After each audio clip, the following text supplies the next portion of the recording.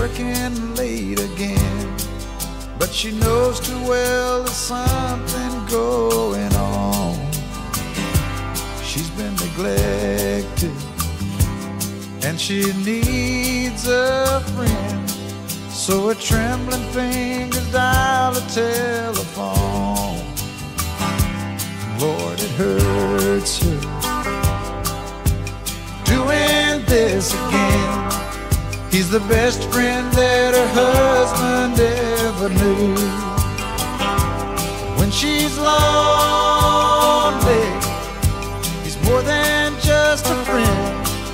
He's the one she longs to give her body to. Daytime friends and nighttime lovers, hoping no one else discovers where they go, what they do in their secret hideaway. They Daytime friends and nighttime lovers, they don't want to hurt the other, so they love in the nighttime and shake hands in the light of day.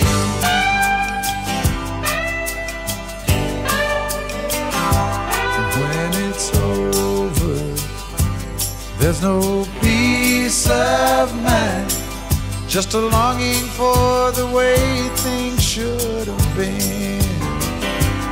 And she wonders why some men never find that a woman needs a lover and a friend.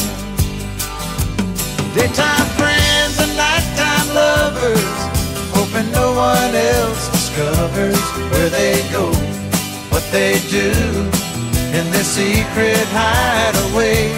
Daytime friends and nighttime lovers, they don't wanna hurt the other, so they love in the nighttime and shake hands in the light of day.